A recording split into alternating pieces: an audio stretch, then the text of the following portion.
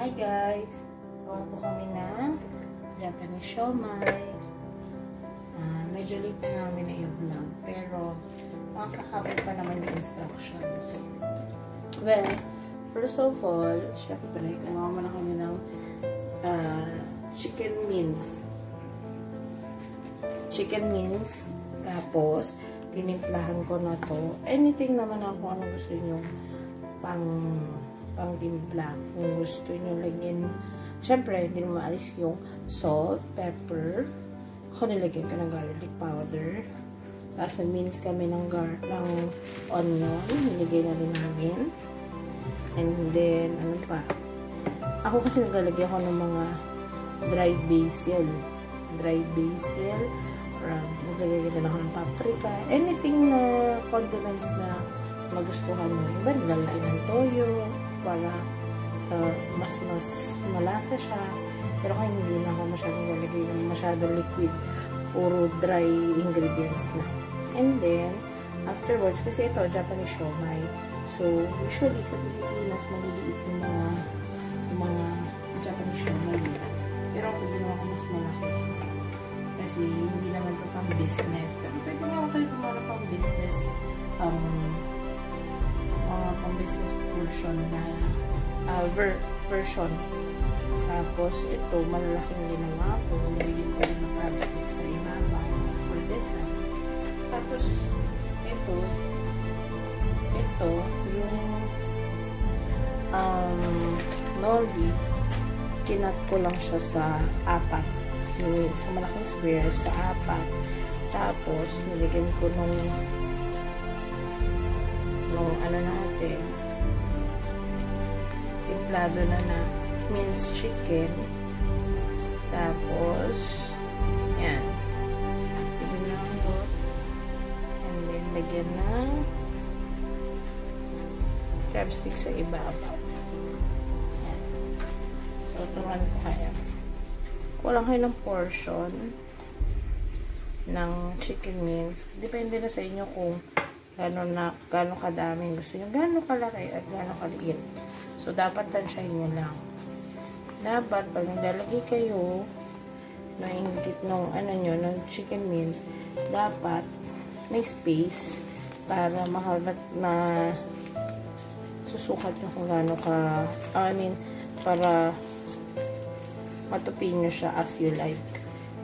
Ako kasi simple lang kasi hindi ko talaga gamay yung paano balutin eh. Unless yung siomay wrapper yung gamit. Ito kasi medyo matigas.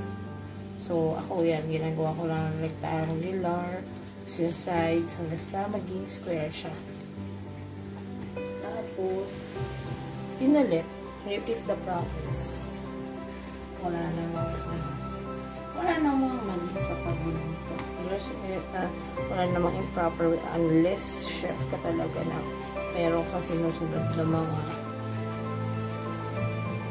ibang ways. Pero ako, kasi pambahay lang naman ito. Hindi naman siya pang business. Eh di ginagawa ko yung mas mas bet ko. Yun. Diba? Wala nung keme-keme.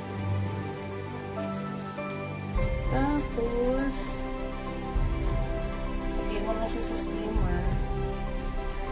Ang gamit ko ngayon is electric steamer. So, ilan na lang ito. Tatlo na lang ito na. Gawin na lang natin.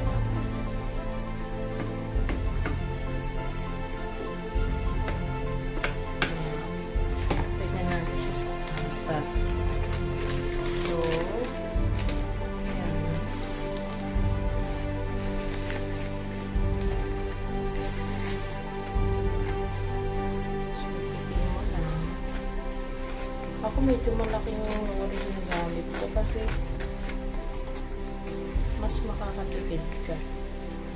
Tapos pwede mo pa siya gamitin kung gagawa ka ng mga sushi-sushi, bake sushi. Kahit sa bake sushi, ito na na ginagamit namin, no?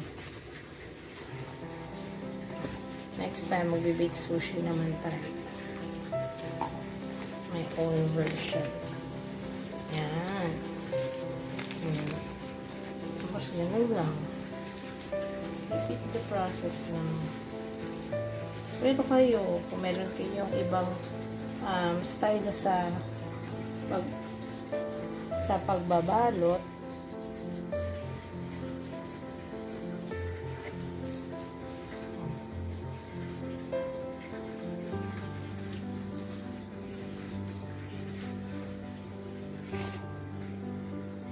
So, yun.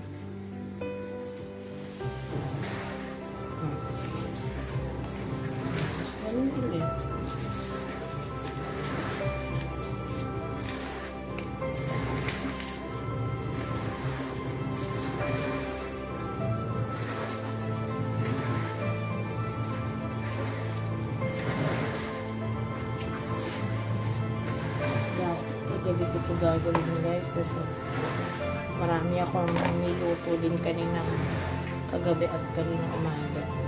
Sana na-vlog ko din yung ibang potahe. Anyways, next time.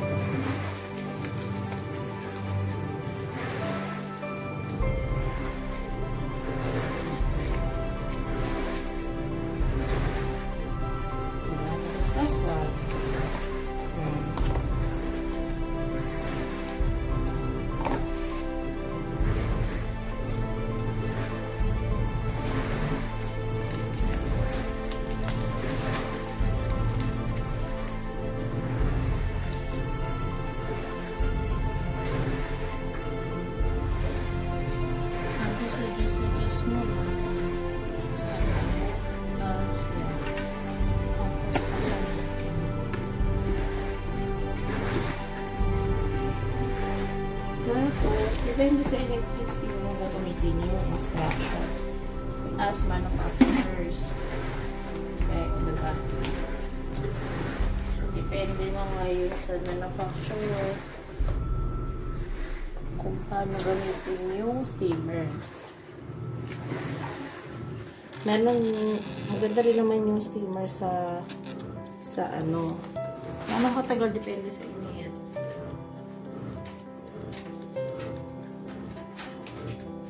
mag- Maganda rin naman yung steamer na nasa kalan. Talagang, oh, mas masarap yung food. Pero ito naman, dahil hindi naman ganun kamahal ang kuryente sa Saudi. So, we prefer doing the electric, uh, using the electric steamer. Ayan guys, luto na siya. Luto na yan. Abiso naman kasi malit ang chicken wings. So, okay na yan.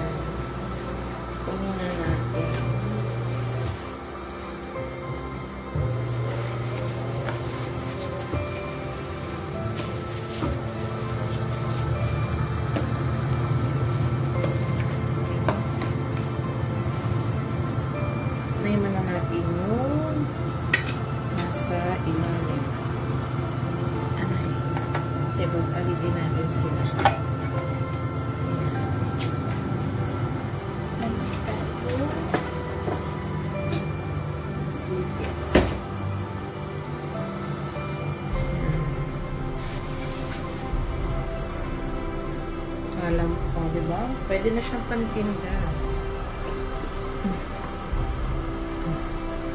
Init. Dapat nga patayin nyo yan eh. Sabi nilagay. Pero, syempre, excited ka na yun. Tapos,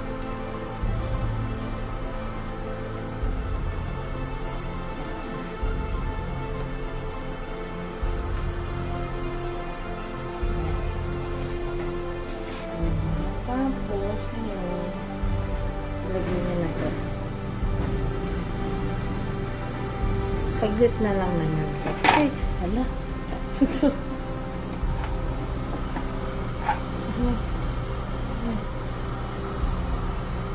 Huwag mo na video ganyan. Ikat pa yan. Hindi na yung video.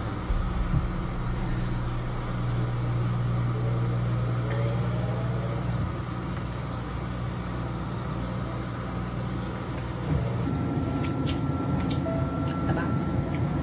Okay, magbabay ka na.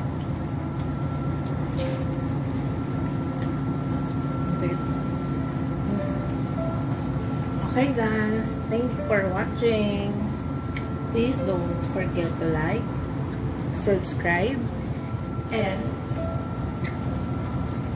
press the notification bell. Thank you. See you again.